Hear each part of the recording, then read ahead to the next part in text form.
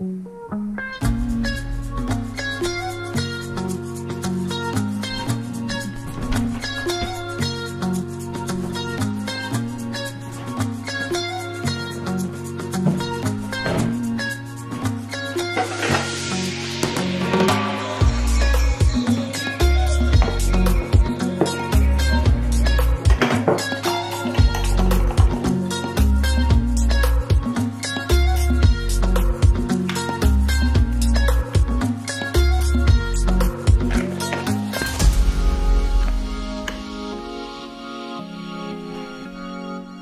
Hej alle sammen, velkommen til vloggen. I dag har jeg tænkt mig at lave en uh, reagere på video på min aller, aller første vlog, jeg lavede her på kanalen. Jeg tror, den er to år gammel cirka eller sådan noget. Det tænker jeg kunne være meget sjovt lige at prøve.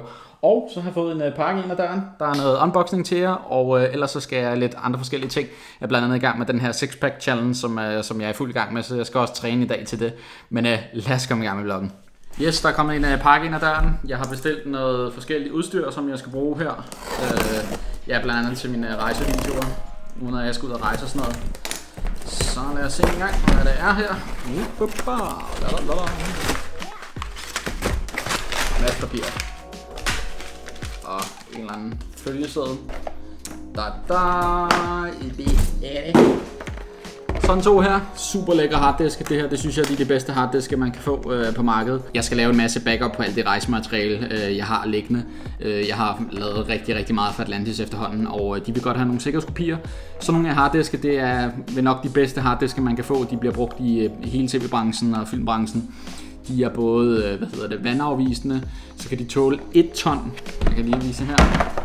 En bil, der kører over den på 1 ton her og øh, så kan de faktisk også tåle at blive tabt fra 1,2 meters højde, og det passer sådan typisk, når man står med den i den her højde her. Så, øh, så kan den også tåle slag, for der sidder sådan nogle øh, gummimembran rundt om, øh, om hele harddisken, så derfor er de også rigtig, rigtig øh, populære. Og så er det selvfølgelig USB 3.0, øh, så der er lynhurtig øh, overførsel. I dag der kommer den lige til at stå på at overføre en masse filer til, øh, til de her, og så skal jeg faktisk hen på Atlantis kontor, Atlantis Rejse, som jeg arbejder for, og så skal de have de her, hvad hedder det, sikkerhedskopier. Jeg har en kopi, og så har de en kopi, så, så er vi helt sikre på, at vi ikke mister noget af det materiale.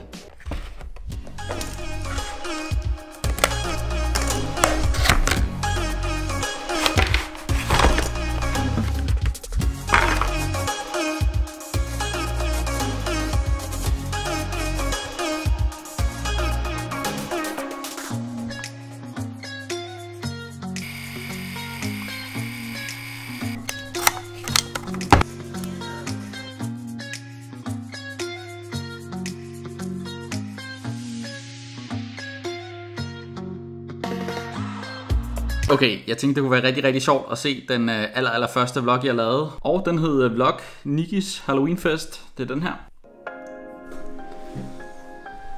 Alright. Okay, det er min øh, første intro her. Jeg kan godt huske, at jeg stod op på en bro lidt længere herop og lavede min øh, første timelapse. Første vlog her på kanalen, sådan en reel vlog. Øh, jeg kommer ikke til at lave sindssygt mange vlog her på kanalen, men jeg tænkte... Øh... ja, jeg kommer ikke til at lave særlig mange vlog på kanalen, siger jeg. Det må man sige, det, det er ikke tilfældet. Så tænker du meget griner, når bloggen gang imellem. Jeg kan se, at øh, jeg har zoomet totalt meget ind med kameraet. Øh, jeg tror, jeg zoomet sådan 24 mm eller sådan noget. Og der er ikke nogen stabilizer i. Jeg kan huske, jeg synes, det var meget sådan grænseoverskridende at vlog. Fordi I må tænke på, min, sådan, den måde, jeg starter med at lave videoer på, der har jeg altid en eller anden karakter, en eller anden comedy-karakter. Det var Carsten eller Ironic Comedy, jamen, der var der også alt mulige andre ting og sådan noget. Og her havde jeg ikke... Øh, på det her tidspunkt på min egen kanal, der lavede jeg mere sådan øh, comedy karakterbaserede ting. Så det at lige pludselig skulle være sig selv foran kameraet, og øh, bare skulle være sig selv, det synes jeg faktisk var enormt udfordrende. Jeg kan også huske, jeg synes, det var en lille smule angstprovokerende. Øh, så ja, det var sådan, det var meget nyt for mig i hvert fald. Jeg går egentlig bare med kamera, det sejler lidt. det er sådan, der ville jeg slet ikke have lavet det i dag. Jeg ville have gjort meget mere ud af, at det skulle være nogle pæne billeder og sådan noget. Lyset også alt for lavt, og ja, der er masser ting, jeg kunne, jeg kunne sige om det. Og sådan en lille smule for langtrukken, synes jeg. Men man skal jo starte et eller andet sted, så... Og arrangementet her, jamen det er et arrangement, som øh, Niki holder hvert år. Sådan et Halloween arrangement, som øh, jeg har været til rigtig, rigtig mange gange. Og øh, jeg tror faktisk, det var, det var faktisk derfor, jeg vloggede det. Jeg tænkte, ej, det kunne være noget sjovt indhold, øh, fordi han gør altid så meget ud af det og sådan noget. Men lyset er vanvittigt dårligt i den her vlog. Ej. Ja, som I kan se, Nike med al mulig udklædning altid. Der er også en vlog året efter faktisk, øh, hvor jeg også er til den her Halloween-fest. Den her video, den er fra 2016 bliver det. Ja, 2016 i november. Så den er, ja, ved at være to år gammel.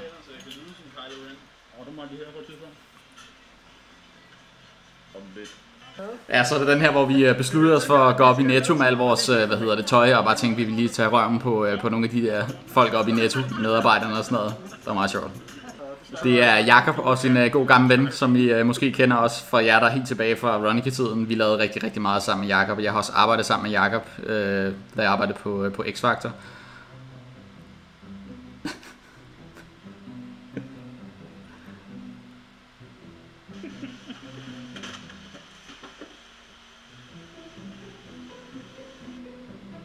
Det er random nok. Gå op og handle sådan der. Det går også meget fedt bare sådan, hvor det ikke var Halloween, og så bare gå op og handle sådan der.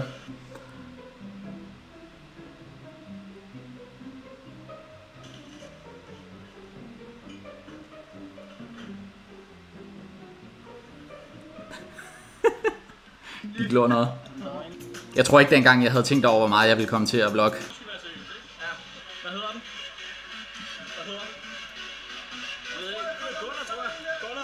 Jeg. Tror, vi er godt fulde der. Jeg ved ikke, om man kan se kønnet på den. Den har ingen, den har ingen penis. Men de skulle altid sjove, de der fester der. Jeg glæder mig faktisk allerede her til november igen, når, når der kommer Halloween-fest. Det er som sagt noget, han holder hvert år, så det er meget sjovt. Læg mig også mærke til, at der er slet ikke nogen slow motion øh, på det her tidspunkt. Der havde jeg slet ikke lært at bruge det. Jeg synes virkelig, det har været sådan en rejse med, med det her vlog. Jeg har lært utrolig mange ting, og øhm, ja, jeg vil gribe, vil gribe det her sådan helt an, anderledes an i dag, hvis det var en vlog. Det er helt sikkert. Men øh, man skal jo starte et sted.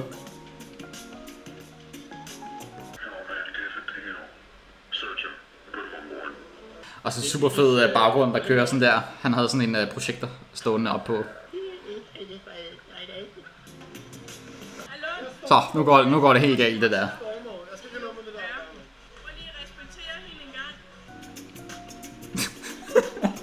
Det gjorde de bare ikke, det der. Det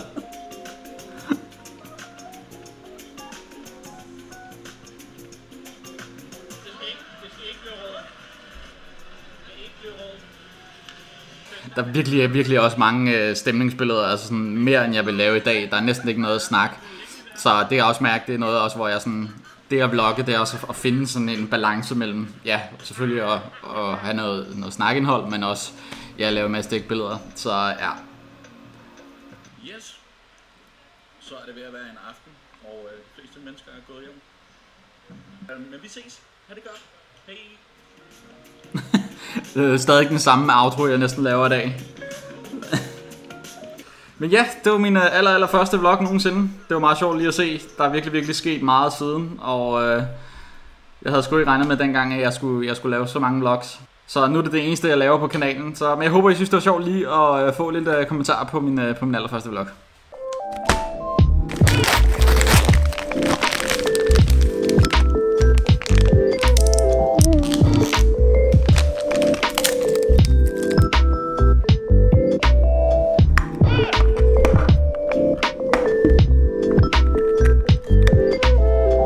Så fik jeg sådan en lille hopstation øh, hjem med posten her, og øh, ja, den skal jeg bruge nu, når jeg skal overføre for to harddiske førhen. Der havde jeg kun sådan et stik med en USB i, så jeg var nødt til at overføre alt fra harddisken først over på computeren, og så tilbage på den øh, ekstra harddisk, jeg nu skulle overføre til.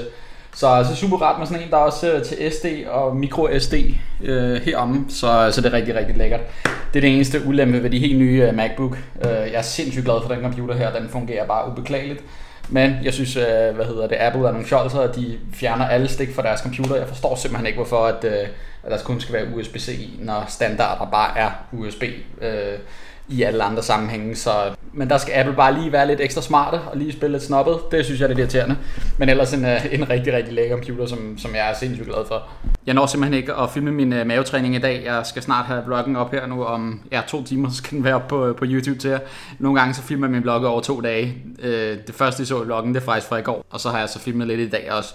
Så øh, det er sådan, det er. Men øh, det går rigtig, rigtig godt med programmet. Jeg har fulgt øh, programmet øh, som til punkt og prikke indtil videre, og øh, der var rigtig, rigtig mange af jer, der skrev sidste gang, at man kan ikke få sixpack uden en lav fedtprocent. Og øh, til jer, der så det sidste af videoen, så forklarede jeg også det her med omkring. Nå, nu tror jeg lige, jeg får en pakke. Yes, det var lige en pakke til. Jeg får rigtig mange pakker lige i øjeblikket. Det er faktisk bare sådan en harddisk, øh, som jeg unboxede lidt tidligere. Men øh, det jeg var ved at sige, det var, at øh, ja, altså, som sagt, så skal man have sin fedtprocent ret meget ned, hvis man skal have den her sixpack. Og øh, jeg kører en ret streng øh, diæt nu. Nu er jeg faktisk gået lidt længere ned i kalorier øh, for ja, at lige fremskynde det lidt. Så ja, lige i øjeblikket, der ligger jeg under 1000 kalorier lige i øjeblikket, hvis man skal have en uh, lav fedtprocent, og jeg har lige varmet igen i morges, og øh, jeg har tabt øh, ja, et halvt kilo til siden uh, sidste video, så det går rigtig, rigtig stærkt lige nu. Men som sagt, det er et eksperiment, og uh, jeg kan godt lide at gå all in, så nu giver den uh, alt, hvad den har for uh, at få den der sixpack der. Men uh, jeg vil runde uh, vloggen af. Jeg håber, I nød vloggen i dag. Jeg vil lige uh, få smidt uh, videoen her på YouTube. Men uh, vi ses om ikke så længe. Ha' det rigtig godt. Hej!